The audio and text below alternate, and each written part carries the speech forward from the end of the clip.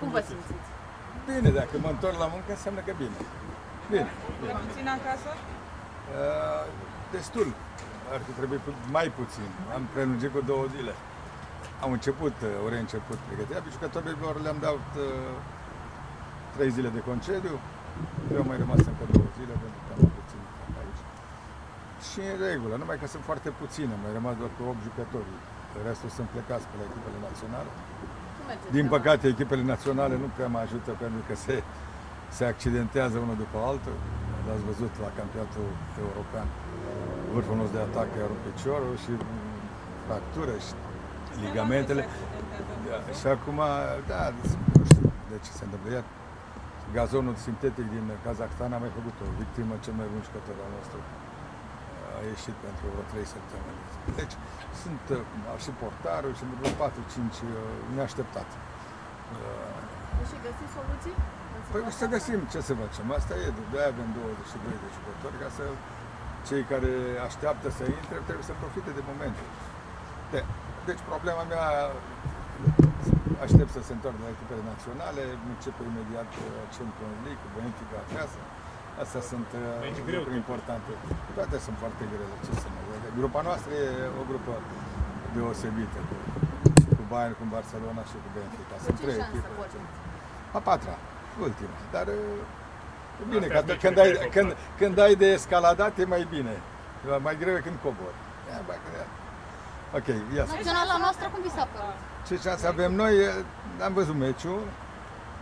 Băieți au jucat bine. Sigur, au profitat de o situație mai deosebită a islandezilor, pentru că schimbă generația. Deja de anul trecut se vedea că au nevoie să schimbe generația de jucători.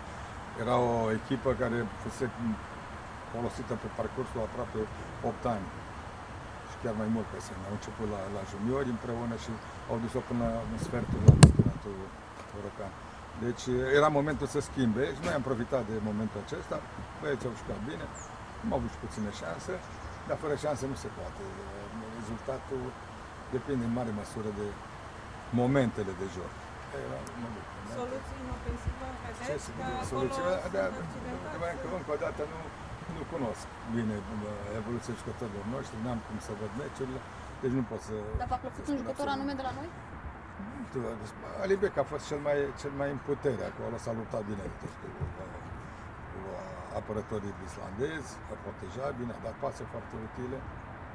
A intrat și foarte bine și uh, Ianis, uh, ca, m, contra unei echipe atât de discipl- discipl- disciplinate tactic. El a reușit câteva pase excelente, când, uh, scoțând toată linia defensivă din joc. Uh, Să sperăm, acum e e Liechtenstein, n- poate, nu e, nu e un meci ușor, nu mai sunt meciuri ușoare pentru că toți, sunt dați toți jucătorii joacă, vedeți ce se întâmplă cu Gibraltar. Și-au luat jucători spanioli de divizie a doua, a treia și câștigă și ei. Luxemburgul, iarăși, sunt jucători care joacă în, în competiții și în campionate puternice. De aceea nici Liechtenstein nu trebuie să fie neglijată uh, ca echipă.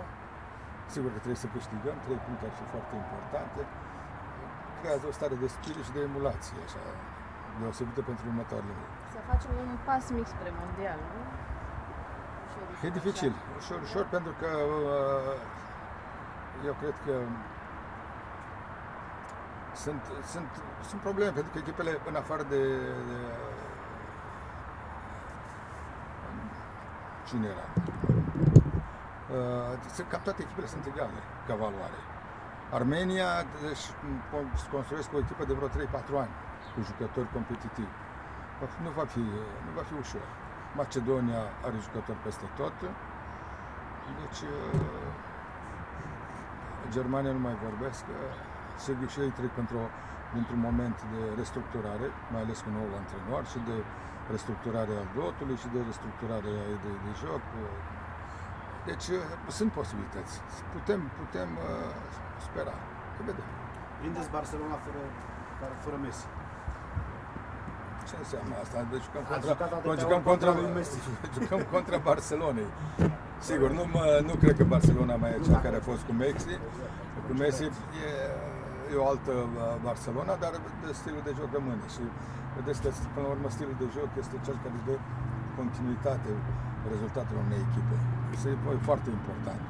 Ei au o bază, o bază serioasă pe care pot construi o echipă uh, competitivă, nu la nivelul la care a fost, pentru că nu e ușor să înlocuiești un jucător cum e Messi sau cum a fost Xavi sau Iniesta sau ceilalți, acum și Piqué ușor, ușor se retrage, deci nu-i simplu. Uh, Când se schimbă generațiile, 3-4 ani uh, sunt uh, probleme. Nici nu au avut bani să înlocuiască la nivelul la care au pierdut jucătorii. Surpriză faptul Rapidului în Liga 1?